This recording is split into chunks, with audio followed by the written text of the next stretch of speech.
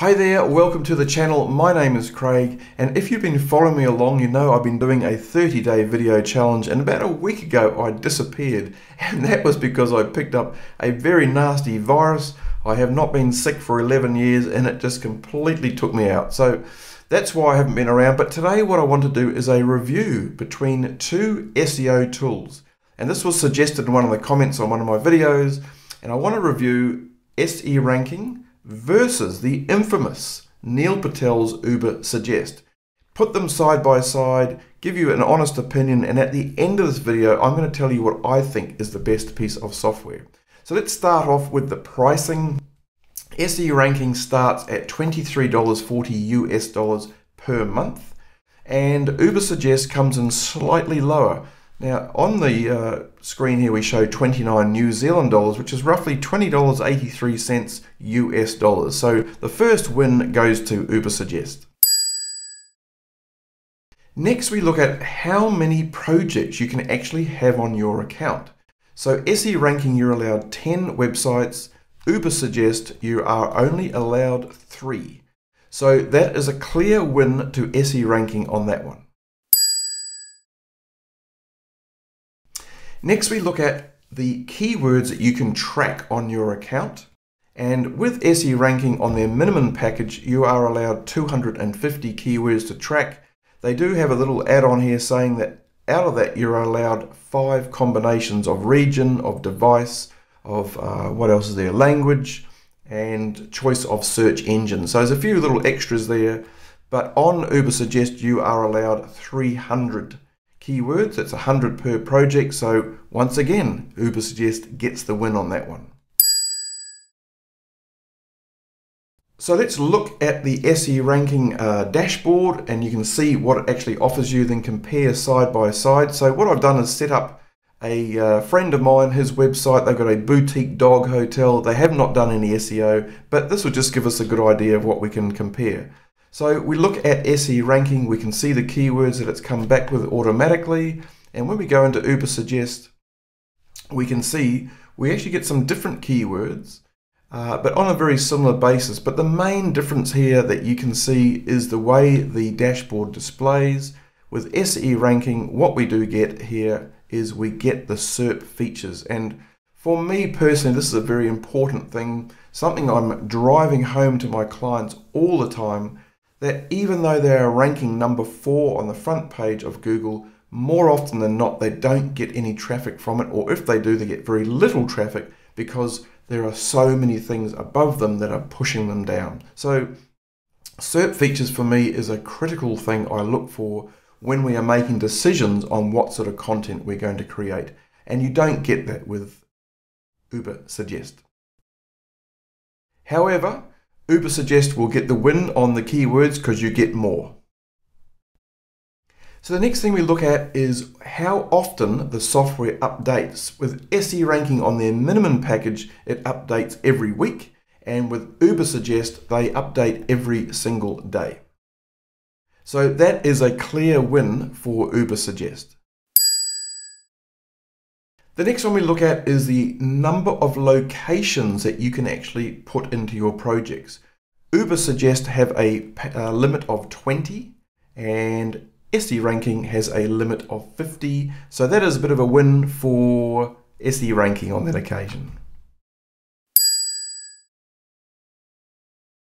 So the next thing we look at is the website audits. And this is when the software crawls your site and comes back with recommendations for changes to get the maximum SEO performance. So on SEO ranking, you can crawl a maximum of 30,000 pages and Ubersuggest have a limit of 1,000 pages per report.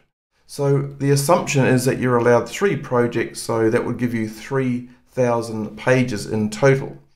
Now that doesn't specify if it's per account or per day or per week, so we can only assume that is per account so on that one, SE ranking has a very clear advantage. So the next one we're looking at is the competitive keyword research. Now SE ranking works slightly differently to Ubersuggest. In fact, they give you 100 reports per day and each report allows you 1,000 results. So that's a total of 100,000 keywords you can interrogate every single day, and then it renews at the end of the day and you're good to go the next day. Ubersuggest work differently. Their keyword interrogation is 20,000. Now it doesn't specify if this is per day, per week. I'm assuming there's going to be a total for the whole project. So on that one, SE ranking is a clear winner. Particularly if you do a lot of keyword research like I do, you're looking for low competition keywords, and you can hammer away on SE ranking without having to worry about your credits.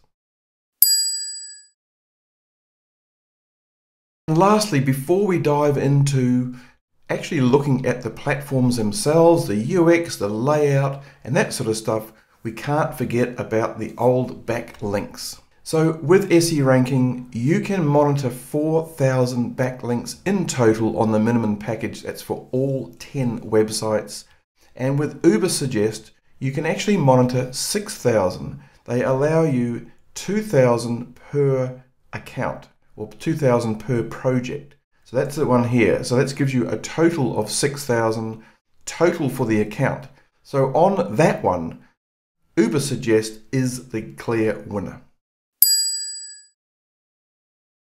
So let's dive in now and have a look at the dashboards and get a feel for how each of them work. And then we can make a bit of a comparison. Then I'm going to give you my summary. So we can see that the keywords are laid out very nicely. There's information about PPC that you don't get in Ubersuggest. And Ubersuggest has a very similar layout and everything is clear. It's easy to read. Here are the keywords and the position uh, that the company is currently ranking for. You can export them. So you can do the same thing in each of these accounts. But there is something that is very, very obvious that is missing in Ubersuggest, and that is the SERP positions. So here we are, we can see here the SERP positions for each keyword. So we can see Google Maps, we can see uh, people also ask, reviews, images, and so on. So that is super, super useful, particularly when you are wanting to target a particular topic and you want to know that you can get to the top of the page very, very easily. So always uh, look at that because organic traffic isn't always going to get you the traffic that you need. So on this uh, sort of front, I prefer SE ranking because the SERP features for me is something I just discuss with my clients every single day. I think it's mission critical. You don't get that with Ubersuggest. If we look at the other things such as the audits that go through, now as mentioned, uh, Ubersuggest will do an audit every single day for you. They'll do update, whereas SE ranking on the package I'm talking about, uh, it is every week. Now every week is enough for me and the information you get from both platforms is very good. I prefer the layout of SE ranking because I've got my menu on the left hand side here I can go between and with Ubersuggest it's just a bit more chunky.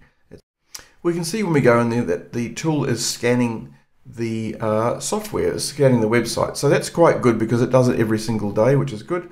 But just if you look at the way it's laid out for me, it's just a little bit of a, uh, a bit of a mishmash. It's just a little bit hard to sort of interpret and get more information on this. So you've got to click here and then go into here, and it's still quite limited of what you actually get. It's just a word count. Where for me, I think the SE ranking tool is just a bit more technical. It's a bit more professional. There's more detail. It's easier to get to. So for me, the SE ranking one sort of ticks the box there. Now looking at the backlink profile, we can go in there and we can go between the actual links itself. We can look at the domain names. We can look at anchor text. Uh, there's a few things you can do with disavowing. Connect that into your uh, Google Search Console to actually disavow some of the backlinks. So you get similar information to Ubersuggest. In fact, you get things such as when they were last seen, if they do follow, no follow, what sort of uh, backlink it is. It's a text, is it an image? Uh, Ubersuggest, you get very similar information. We'll just go and look at the backlinks here. You get anchor text, you do get the backlinks. There's nothing to display at the moment. It's probably still crawling the site, but there are the actual backlinks itself. And But what it doesn't tell us here is if there is anchor text or what type of backlink it is. So very easy to see in SE ranking if it is a uh, image or if it is text and it shows you over here. So I find that quite useful at a glance, but overall you're going to get the same sort of information. And we get more information over here as we scroll across. There's a bit more detail. There's the country, when it's first seen, last seen. As I say, you can add the uh, use the disavow if you want to, and there's a few bits of things you can do here. You can edit notes and assign it to a manager and all sorts of things like that. So yeah, once again, I just feels like SE ranking is a bit more professional with the layout. There's a bit more content there. There's a few extra things that you can do. So yeah, I think uh, for me, the SE ranking tool on this particular part is actually uh, is better. Now, one thing that Uber suggests do have is a backlink opportunity. They call it back, backlink opportunity, where you can put in a website of your competitor and find the backlinks. Well, you can do this in SE ranking as well. And up the top here, you have backlink checker. So you get a limit of 20 per day, and you can interrogate 20 domains per day and get all the results there. So you can see I've gone back to zero because I haven't done any today. And once again, you know, you can go in and interrogate away to your heart's content. So yeah, I think those ones there, if we do a, bit of a, a comparison between the two, uh, it's a little bit hard to work out, but we know we can do 20 per day. And Ubersuggest we, uh, new and lost reporting, filtering link history, backlink interrogation. So yeah, a little bit hard to know how many can actually do here. I'm assuming that whatever you do is going to be included in your 2000 limit there. So yeah, not sure on that one, but uh, as I say, for me anyway, uh, SE ranking. So in summary, I prefer SE ranking. I think it's more professional. That was a free account I showed you on Ubersuggest. I have had a paid account before. The dashboard doesn't look anything different than what I can remember. I could be wrong. If I am, please correct me in the comments. But for me, the SE ranking is more professional, more data. I can export that data in a more, more reasonable fashion that customers can sort of see and appreciate. And just because it's more professional, I feel more confident in it when I am talking to clients, doing screen shares, showing them the information than I do with Ubersuggest. So for me, I'm an a SE ranking guy. That's what I'm going to stick with. That's what I recommend. There's a link below if you're interested in getting a free trial on it.